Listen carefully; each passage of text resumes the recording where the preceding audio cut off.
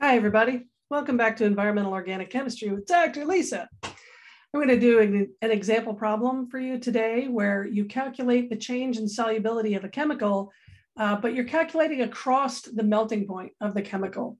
So let's say we have our chemical and we look up the solubility, say right about there, uh, and that happens to be 25 degrees Celsius. So that's the temperature we can look up.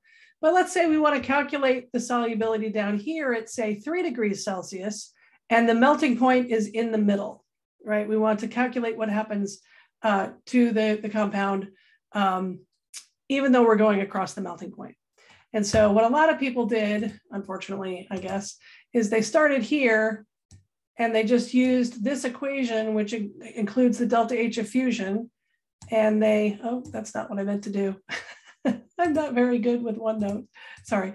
But basically what they did is they calculated, this is supposed to be a straight line here. Okay, so trust me, this, they calculated a straight line that's, you know, perfectly parallel to this solid line because they're using the same slope, but you're starting from the wrong spot. So you would be calculating your solubility as that was down here, which is not correct. But what you need to do is first calculate the solubility at the melting point right here using the equation for the liquid and then calculate this part of the curve where you go from the melting point down to your three degrees Celsius or whatever your temperature is using this equation for a solid, which includes delta H of fusion. Okay, so that's what we're gonna do here. Here's our example problem. I've decided to use cyclohexane as my example chemical because cyclohexane has a melting point of 6.45 degrees Celsius. Okay, so if I look up the solubility of this chemical here, I looked it up on EpiSuite. I have it here in milligrams per liter and also in molar units. If I look it up, this is what I get, but this is at 25 degrees C, right? At 25 C. Uh, and now I want to calculate the solubility of the chemical all the way down at three degrees Celsius. And again, the melting point is in between. So the chemical is becoming a solid in here. So how do I do this? Well, I have my equations here, right? I know that I can calculate uh, in the liquid region, the slope that I'm going to use is the HEW. That's the excess enthalpy involved in dissolving the chemical in water from its pure liquid phase into water. And then, of course, delta H of fusion is the um, energy required to melt the solid, right? And remember, when you have this natural log of a ratio, I could write this as natural log of CSAT T2 minus natural log of CSAT T1. So I could move the natural log of CSAT T1 over here with a plus sign and write the equation this way, right? So I would use this form of the equation. Now, to do this, of course, I need to know what HEW and delta H of fusion are. So for cyclohexane, I mean, one of the reasons I picked it is because I can actually look up the delta H of fusion from the NIST webbook. So that's nice. Uh, but the HEW term is trickier. I went to the UFZ LSER data set here. Uh, here's the website here if you want to go look at it.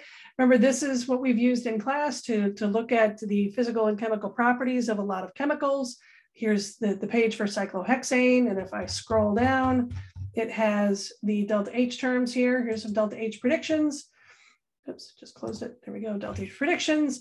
And you notice that it has one for, if I keep scrolling down, it's got for the air to water bulk phase partitioning. So it's got delta HAW is what I would call it, right? So I was able to download that. And my delta HAW was 28.78 kilojoules per mole. And I know that my delta H of vaporization is 33.34 kilojoules per mole. And I know that the HEW should be the difference between those two numbers. So I'm able to calculate HEW by just subtracting one from the other, and my HEW term is about four and a half kilojoules per mole. Now, not all chemicals are this easy. Sometimes you just have to make an educated guess about what HEW is. But if you're lucky, like I am with this chemical, you can look up HAW, you can look up delta H of vaporization, and the difference between the two will be your HEW term. So first, let's do the step where we calculate from 25 to six and a half degrees Celsius. Okay, so 25 degrees Celsius, we already know what the solubility is. I'm going to use molar units here. Now I want to calculate the solubility at six and a half degrees Celsius. So I'm going to use uh, this equation right here. Okay, so equals exp, because this equation is going to give me the natural log. So I'm going to exp this whole thing. So this is going to be HEW here divided by R. Notice that I'm using R. I've done the 0.008314 kilojoules per mole. So the kilojoules per mole Kelvin here cancels with kilojoules per mole here, and I'm left with only Kelvin, which will get uh, canceled out when I do the one over T times. Okay, and then this is the tricky part. We got to make sure we don't get T1 and T2 confused. So T2 is the, the temperature we're aiming at. T1 is the temperature we started. So sorry, hold on, put some parentheses there, T1 minus T2 plus natural log of the solubility at 25 degrees C, close parentheses, and that should give us our number. So, okay, what happened here? Wait a minute, my temperature went down, but my solubility went up. That tells me I got a problem. Houston, we have a problem. Could be a parentheses thing. I'm not exactly sure what the problem is here, to be honest. So I'm gonna put some parentheses in, see if I can fix it that way. It's not gonna do it for me. There we, no, no, still wrong. So what did we do wrong here? Let's see if we can figure this out. Is it a problem of T1 minus T2? Uh, yep, okay, that's what we did wrong. This should be, I just clicked on the wrong cell here. There we go. That should be, this one should be, here we go. So that's a cautionary tale about how you always have to check your numbers, check your math, right? Okay, now, yay, my solubility has gone down which is what it should be doing.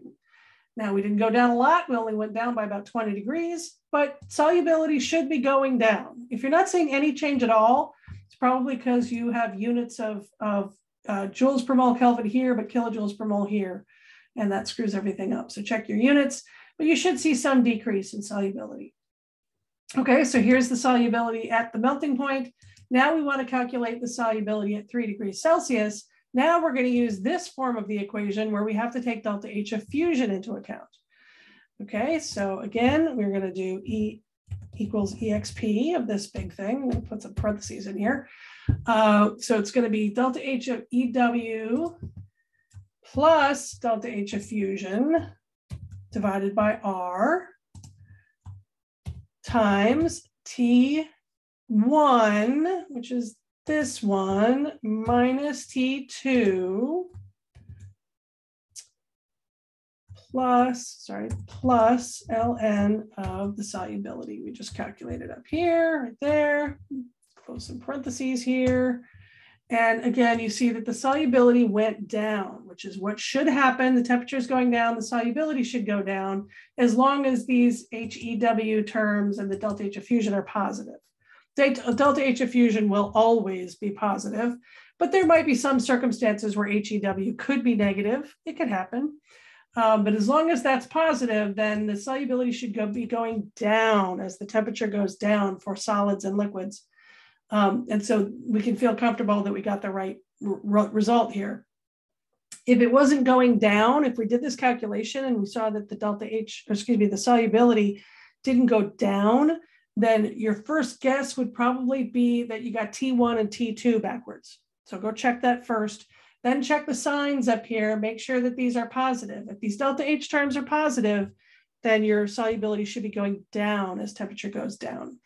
So that's how you calculate the change in solubility, even incorporating the fact that you've moved past the melting point.